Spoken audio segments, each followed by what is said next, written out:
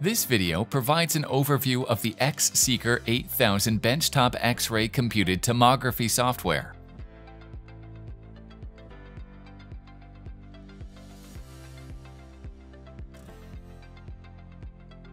On startup, the simple software interface contains a real-time 2D X-ray display of your sample, alongside the scan parameters.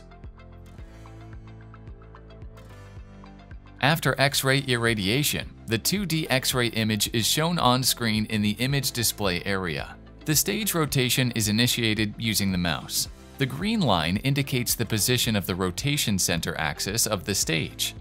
The purple line indicates the window center line. The X-ray transmission level and CT scan area of the sample can be confirmed. A 2D X-ray image can be seen in the preview display window. The image magnification is indicated on the upper right-hand corner of the window. The display frame shows the portion of the image in the live display. The Image Quality Adjustment window allows the user to quickly adjust brightness of the currently displayed image. The minimum and maximum grayscale values can be adjusted by dragging these two lines.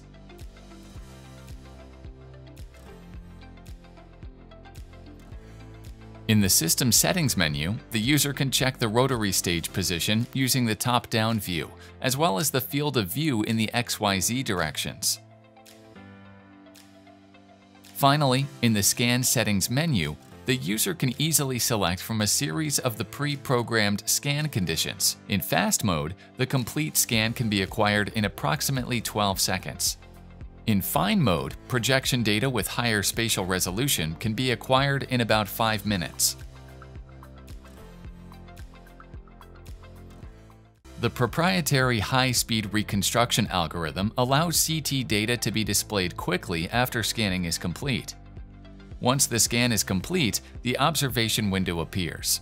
There is a side-by-side -side view of the cross-sectional images, seen on the left, and the volume rendering window, seen on the right. The folder path, as well as the capture button and image information are located on the top panel bar. In the Multi-Planar Reconstruction MPR window, cross-sectional images can be viewed. Four unique images are displayed. The z-axis slice image of the sample can be seen on the top left.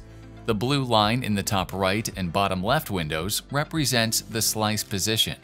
The red and green lines can be dragged to set the oblique images. At the top right of the window, the oblique image is displayed. This is the cross-section represented along the red line. At the bottom left, the oblique image represented by the green line can be seen. Finally, at the bottom right, the double oblique image which is represented by the orange line is seen.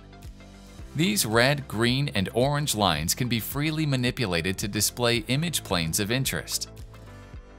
The image can be digitally magnified by using the scroll wheel on the mouse. Dimension measurements can be performed by right-clicking and dragging on the selected image. The brightness and contrast of the cross-sectional images can be adjusted with the histogram in the Image Quality menu.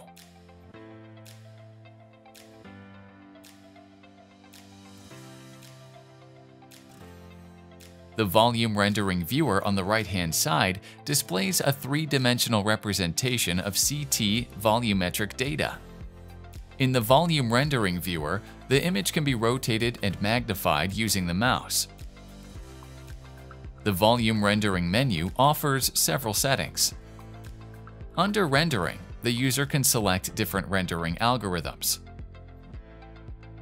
The slice planes may be selected and displayed in the volume rendering image. The colors correspond to the slice positions in the cross-sectional images. The clipping function allows the user to select, display, and hide specific areas.